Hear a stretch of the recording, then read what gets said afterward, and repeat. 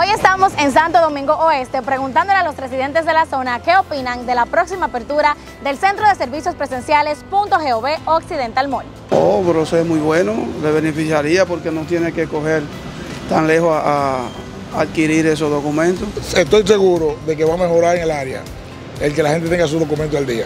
Eso es una bendición de Dios porque eso obviamente me va a impedir a mí hacer todo ese recorrido tan lejos, los tapones y todo eso.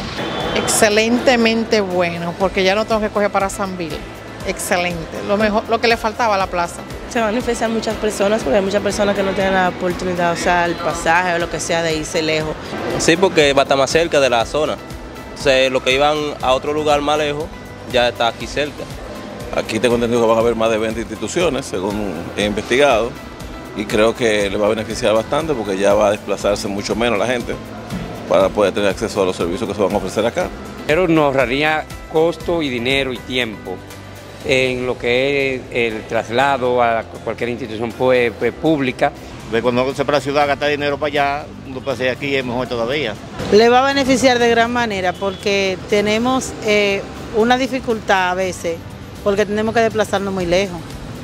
Y cuando hay que desplazarse muy lejos es difícil. Porque a veces la gente no tiene, tiene el dinero de pagar el servicio, pero no tiene el dinero completo de pagar un pasaje pagar un taxi. Le va a ser más fácil venir aquí, ya que está más cerca de la comunidad, que desplazarse a otro lugar más lejos. Eh, creo que va a ser de bastante provecho.